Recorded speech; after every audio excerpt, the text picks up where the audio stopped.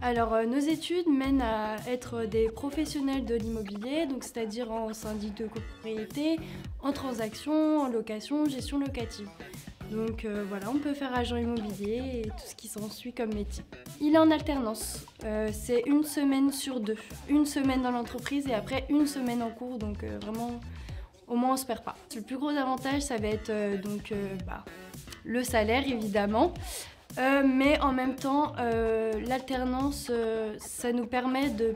Enfin, après nos études, par exemple, si on veut arrêter au BTS, on peut directement rentrer dans la vie professionnelle et on, on aura déjà une expérience. Donc ça, c'est génial. Donc voilà.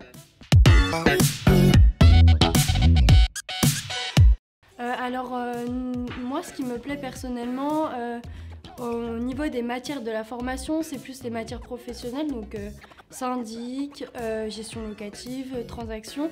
Il y a aussi des, matières qui me plaisent aussi, comme l'anglais, qui est vraiment axé sur l'immobilier, c'est très intéressant, c'est moins général, et la culture gé- générale, c'est du français, mais poussé, c'est-à-dire qu'on voit plus des choses qui nous sont importantes pour nous. Voilà.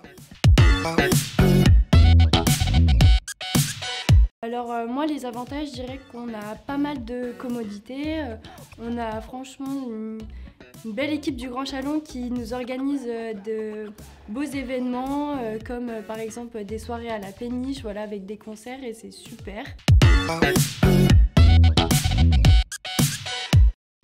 Moi je lui dirais que l'immobilier vous servira toujours et que c'est super intéressant comme BTS, métier.